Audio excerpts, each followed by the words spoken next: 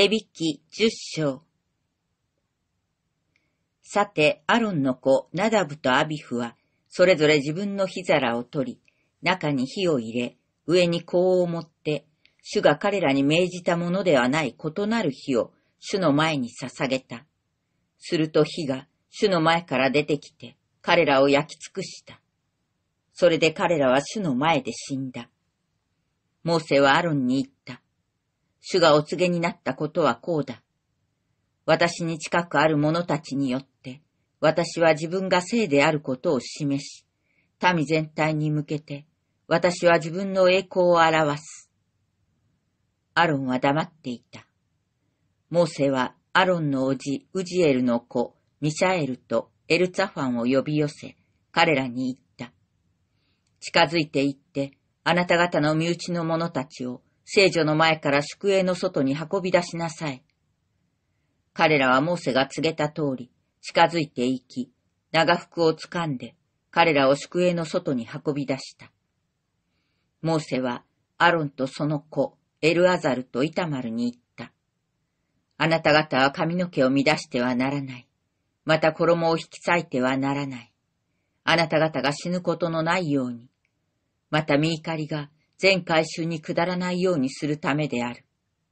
しかし、あなた方の身内の者、すなわちイスラエルの全家族は、主が焼き殺した者のことを泣き悲しまなければならない。また、あなた方は会見の天幕の入り口から外へ出てはならない。あなた方が死ぬことのないようにするためである。あなた方の上には主の注ぎの油があるからだ。それで彼らは、モーセの言葉通りにした。主はアロンにこう告げられた。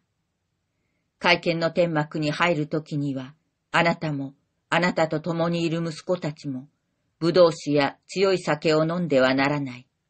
あなた方が死ぬことのないようにするためである。これは、あなた方が世を守るべき永遠の掟である。こうしてあなた方は、聖なるものと俗なるもの、また、汚れたものと清いものとを分け、また、主がモーセを通してイスラエルの子らに告げたすべての掟を彼らに教えるのである。モーセはアロンと残っている彼の息子、エルアザルとイタマルに言った。主への食物の捧げ物のうちから穀物の捧げ物の残りを取り、種なしパンとして祭壇のそばで食べなさい。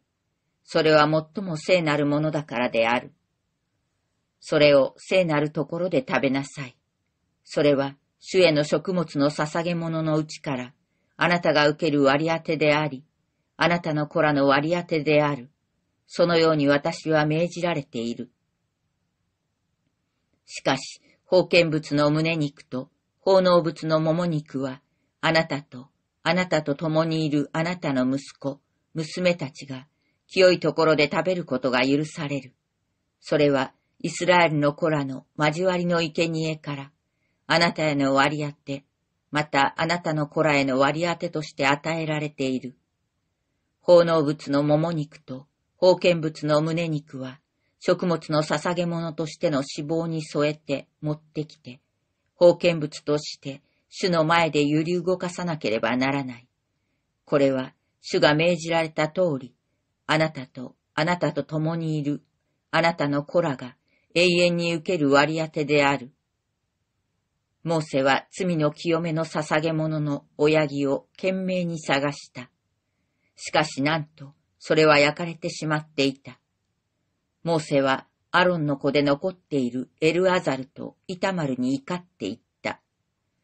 どうしてあなた方はその罪の清めの捧げ物を聖なるところで食べなかったのか。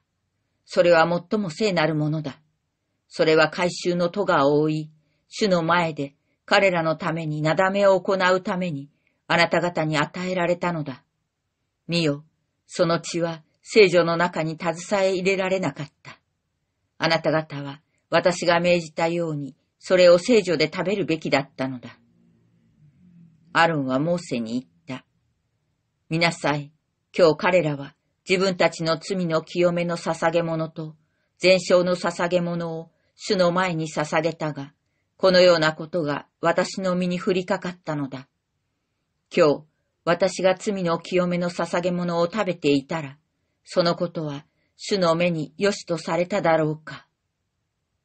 モーセはこれを聞き、それで良いとした。